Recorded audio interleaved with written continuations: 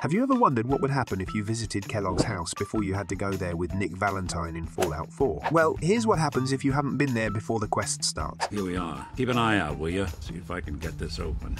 That's one heck of a lock. Got something to hide, Kellogg? Why don't you give it a try? We'll need to find the key. But what if you sneak into the house beforehand? I decided to test it out. So, I went to the mayor's office and started looking for the key. After a while, luck was on my side and I found Kellogg's house key in the mayor's secretary's desk. Then I went down to Diamond City. I entered Kellogg's house, and once inside, I became curious if there was a red button that would open a secret room. I approached his desk, looked under it, but unfortunately found nothing there. Anyway, I headed to Nick Valentine to go there together. Let's you and I take a walk over to Kellogg's last known address, see if we can snoop out where he went. When we arrived at the house, here's what happened since the door was open.